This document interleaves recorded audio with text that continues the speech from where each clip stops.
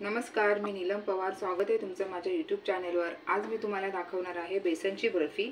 त्यासाठी लागणारे साहित्य आहे एक बाउल बेसन काजू बदाम वेलची पूड साखर तूप.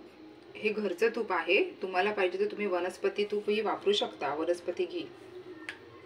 तर सुरुवात करूया आपण आपल्या रेसिपीला मी कढई अगोदरच गरम करत ठेवलेली होती. बेसन भाजून घेऊया.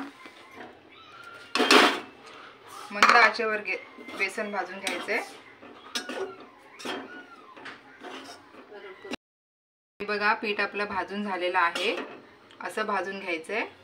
आता मी हे काढून घेते आणि नंतर पुन्हा हे आपण तुपामध्ये भाजून घेऊया. टाकते मी आता. पीठ अगोदर भाजून घेतलं तर तुपामध्ये जास्त वेळ लागत नाही भाजायला. पीठ बघा आपला किती खरपूस भाजलेला आहे. सुगंधही छान येत आहे. आता हे आपण तुपात भाजूया. हे बघा कसा ब्राऊन कलर आलेला आहे एकदम.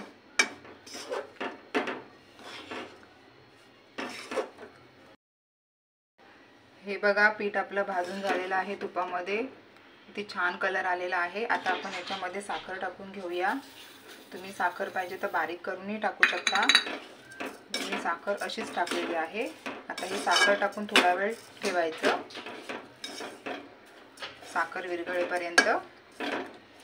साखर विरघळून झाल्याच्यानंतर त्याच्यामध्ये वेलची टाकायची.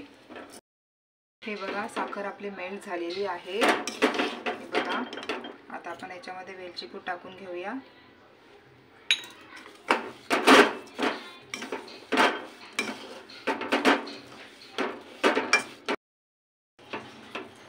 हे आपण ताटामध्ये काढून घेऊया.